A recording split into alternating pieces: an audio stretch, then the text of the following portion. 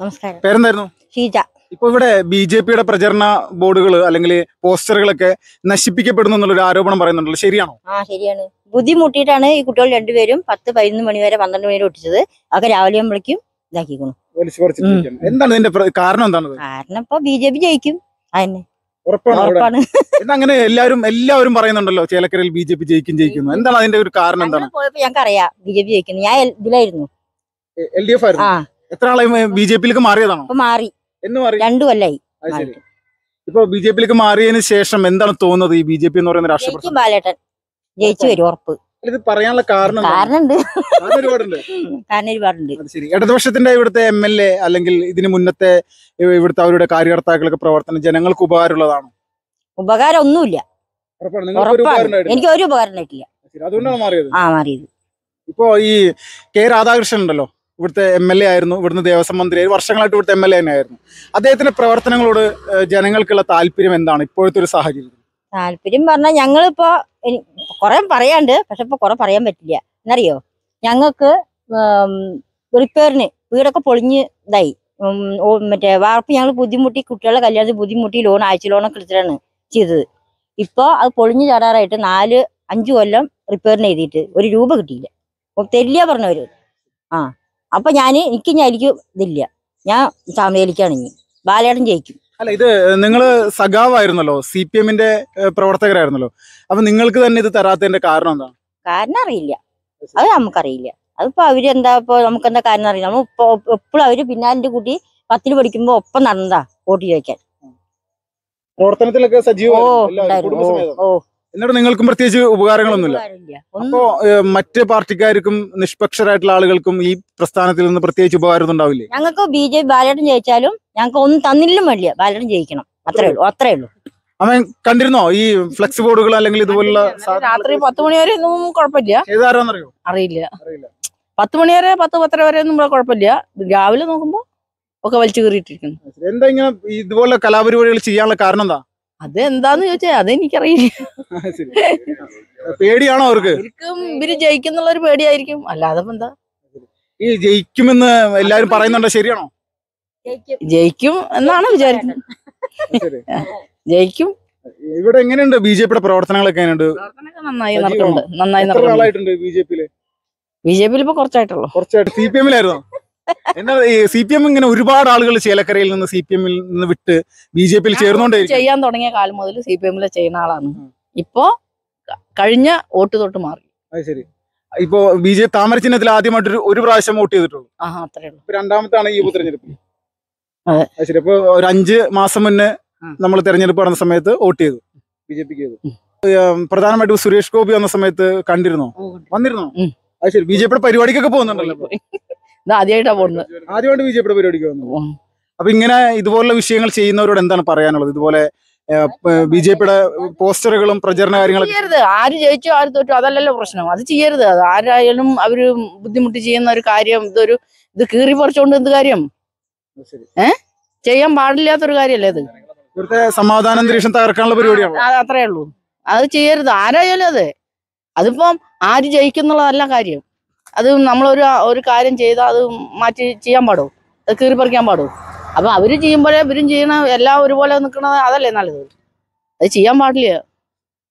ഒരു കേടും പാടൊന്നും വന്നിട്ടില്ല. ഇത് മാത്രം ഇന്നലെ ഇവർ കെട്ടി പത്ത് പത്തരയ്ക്ക് ശേഷം രാവിലെ നോക്കുമ്പോൾ ഇതൊക്കെ കീറിപ്പറിച്ചിട്ടിരിക്കുന്നു അപ്പൊ മറ്റുള്ളവരൊന്നും കേടില്ല. ബി ജെ പിയുടെ മാത്രം? ആ അത് അത് ആരായാലും അത് ചെയ്യാൻ പാടില്ല. ഓരോ പാർട്ടി സംബന്ധിച്ച് അവരുടെ ഭാഗം പിരഭാഗം പറയല്ല. ആരായാലും അത് ചെയ്യരുത്.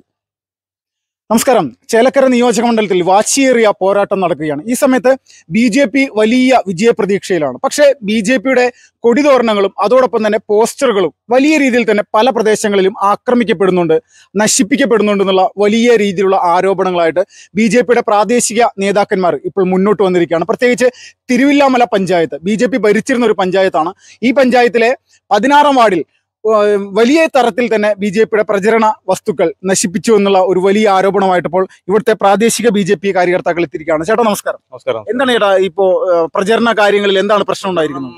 നമുക്ക് പറഞ്ഞു കഴിഞ്ഞാൽ ബി ജെ പി ഏറ്റവും കൂടുതൽ മുന്നോട്ട് പോയിക്കൊണ്ടിരിക്കുകയാണ് പ്രചരണം. ഒന്നാം നിലയ്ക്ക് പോയിക്കൊണ്ടിരിക്കുന്നത് ജനങ്ങളുടെ ഇടയിലേക്ക് നല്ലൊരു ബാലേട്ടൻ ജയിക്കുന്ന ഒരു തരത്തിലേക്ക് എത്തിയിട്ടുണ്ട് പ്രചരണങ്ങളൊക്കെ കാര്യങ്ങളൊക്കെ.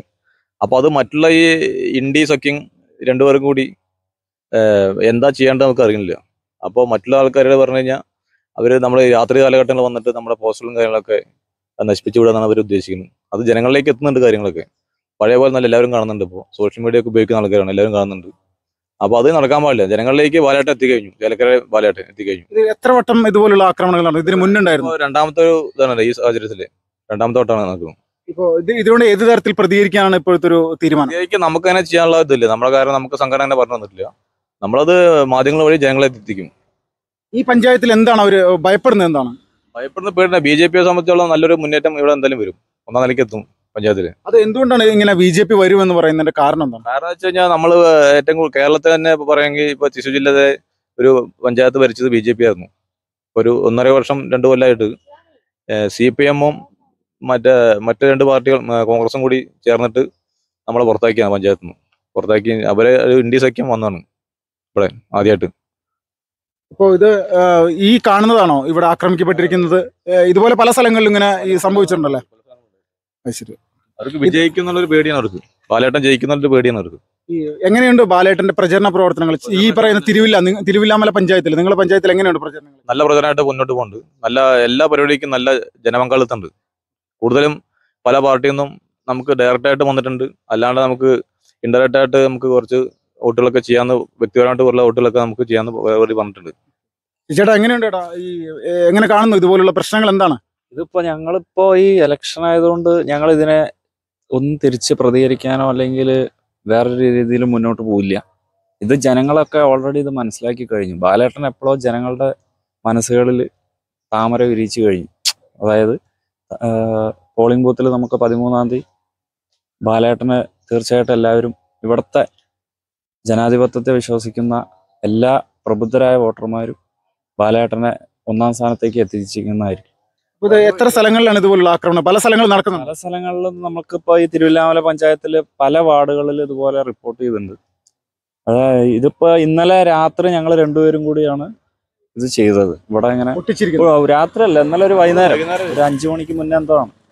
അപ്പൊ രാവിലെ എണിച്ച് നോക്കുമ്പോ അതൊക്കെ കീറി വെച്ചു. മീറ്റിംഗ് കഴിഞ്ഞ് വരെ നമ്മുടെ ജില്ലാ പ്രസിഡന്റ് മീറ്റിംഗ് ഉണ്ടായിരുന്നു. ഓഫീസിൽ വെച്ച്. നമ്മുടെ പൊതുപരിപാടി ഉണ്ട് അതുകൊണ്ട് ഒരു പത്ര മണിക്ക് അതിനകത്ത് ആ പത്ര മണി നേരത്ത് ഈ സാധനം ഇവിടെ ഉണ്ട്. രാവിലെ എണിച്ച് നോക്കുമ്പോഴാണ് സംഭവം അവരെ വലിച്ചു കയറിക്കുക. കാരണം അത് നമ്മൾ പശയിട്ട് ഒട്ടിച്ചല്ലോ. സ്റ്റാപ്പിൾ വെച്ച് അടിച്ച സാധനമാണ്. അങ്ങനെ ഏ, ആകെ ഒരു പന്ത്രണ്ട് മണിക്കൂറും കൂടെ ആയിട്ടില്ല അത് ഒട്ടിച്ചിട്ട്. നമുക്കത് ആരോ വലിച്ചിട്ട് തന്നെയാണ് നമുക്കറിയാം. ആൾക്കാരൊക്കെ അറിയാം. നമ്മൾ പേര് പറയുന്നില്ല മാത്രം. ആൾക്കാർ ചെയ്തൊക്കെ നമുക്ക് വ്യക്തത ധാരണ ഉണ്ട് അവർ ഇതിനു മുന്നും ഇങ്ങനെയുള്ള പ്രവണതയുള്ള ആളുകളാണോ? അത് ചെയ്തിട്ടുണ്ട്. ഇപ്പോൾ ഈ ഈ ഇലക്ഷനിലാണ് ഇത്ര ദിവസം അവരൊന്നും ചെയ്ത് പ്രതികരിച്ചില്ല ഈ ഉപതെരഞ്ഞെടുപ്പിൽ അവർക്ക് എന്തോ ഇല്ല ബി ജെ പി ജയിച്ചു കഴിഞ്ഞാൽ അവർക്കൊക്കെ നല്ല ബോധ്യമുണ്ട്. അത് അവരെ മനസ്സിൽ ഉൾക്കൊള്ളാൻ പറ്റില്ല അവർക്ക്. അത് അവർ ഇങ്ങനെ ഈ ഇടപാടുകൾ ചെയ്യണം അവർ ഇത് തൃശ്ശൂരിൽ സുരേഷ് ഗോപിയുടെ വിജയം പോലെ തന്നെ ഇവിടെ ആവർത്തിക്കുന്നുള്ള ഭയമാണോ? നല്ലൊരു വിജയം നമുക്കിവിടെ ബാലറ്റിന് വേണ്ടി കിട്ടും. ആ ഒരു ഭയം അവർക്കുണ്ട്.